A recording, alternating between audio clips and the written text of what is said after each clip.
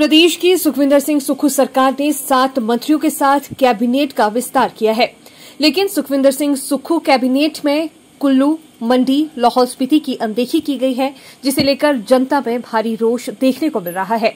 लोगों का कहना है कि कुल्लू से सुंदर सिंह ठाकुर और लाहौल स्पीति से रवि ठाकुर मंत्रिमंडल की रेस में शामिल थे।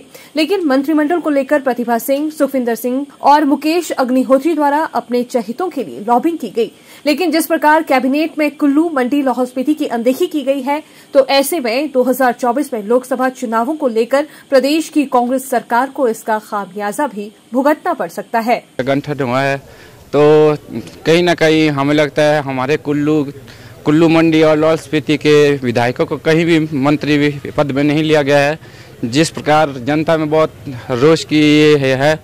आने वाले समय में भी सरकार को ये सभी विधायकों के साथ लेकर चलना चाहिए था और हमें हमें, हमारे विधायकों को भी मंत्री पद देने चाहिए थे। जी देखिए, जिस प्रकार से हमारे कुल्लू और मंडी लाहौल स्पीति की जनता को अनदेखा किया गया है, जिस प्रकार हमने यहाँ से अपने विधायक जिता के भेजे हैं, उनको किसी भी मंत्री पद में नहीं लिया गया है। जिस प्रकार, जिस कारण जनता में काफ़ी रोष पैदा है। जो ये सरकार कर रही है, बहुत ही गलत भावना से है। इस प्रकार से देखो, आने वाले समय में भी चुनाव आने हैं। कहीं ना कहीं सरकार को आने वाले समय में इसका मुख्याजा भुगतना पड़ेगा। तो बहुत है नहीं, सुंदर ठाकुर और रवि ठाकुर को मंत्री वो मिलना चाहिए। इसलिए हमारे जो पब्लिक वो बहुत है, उसमें है, गुस्से में है। गुस्से में है। बाकी क्या देते हैं सरकार ने मंत्रिमंडल का गठन किया और हमारे लाहौल स्पीति और कुल्लू का कोई वो नहीं किया। वो हमारे को बहुत, हमारे पब्लिक बहुत रोष में है।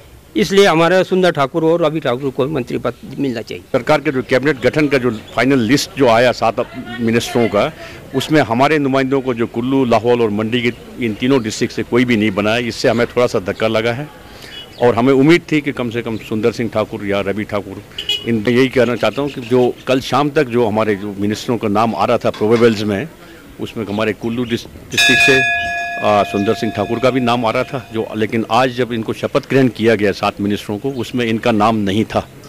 तो हमें, हमारी तरफ़ से जो मंडी, कुल्लू और लाहौल, हमें लगा कि हमारे छत्तर किनार, हमारे इस, इन तीन ज़िलों को दरकिनार किया गया है, इससे हमारे जो पब्लिक में जो गलत मैसेज जाएगा, जो हम लोगों ने रोष भी है, और हम लोगों, जो इस पर जो मिनिस्ट्री नहीं बनाने से पब्लिक में यहाँ पर बहुत रोष है, और हम चाहते हैं कि अभी भी गवर्नमेंट के पास या हमारे चीफ मिनिस्टर के पास अभी भी समय है कि समय रहते हुए हमारे इन तीन ज़िलों में से एक या दो मिनिस्टर्स कम से कम लिया जाए। जिससे कि लोगों को मन में ठेस नहीं पहुंचेगी और हम लोगों ने जिस ढंग से मेहनत करके इन आ, ये इलेक्शन में काम करके इनको जिताया है उससे हमें बहुत धक्का लगा कि हमारे मिनिस्टर हमारे जो नुमाइंदे जो इलेक्ट हुए हैं उन्होंने हमें मतलब उनको मिनिस्टर नहीं बनाया गया।